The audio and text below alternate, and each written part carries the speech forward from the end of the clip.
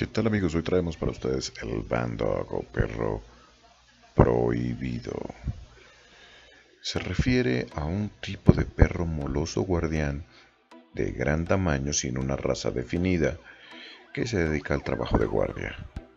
Se cree que el término se originó en Inglaterra durante la Edad Media. Y es un perro que es grande, obstinado, ansioso y de cuerpo muy pesado. No es un perro recomendado para hogares o familias, puesto que su destino real es la guardia y la protección de propiedades.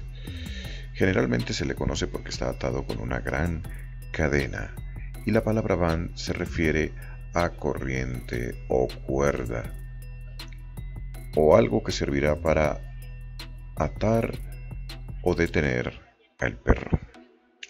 También puede derivarse el propio inglés antiguo doga, que significa perro poderoso o musculoso. Un perro de trabajo que se ve mucho en algunos estados de los Estados Unidos de Norteamérica cuidando grandes propiedades. Como podemos observarlo es bastante intimidante. Muy bien amigos, los invito a continuar viendo el video, darle me gusta y compartirlo en todas sus redes sociales. Gracias y hasta la próxima.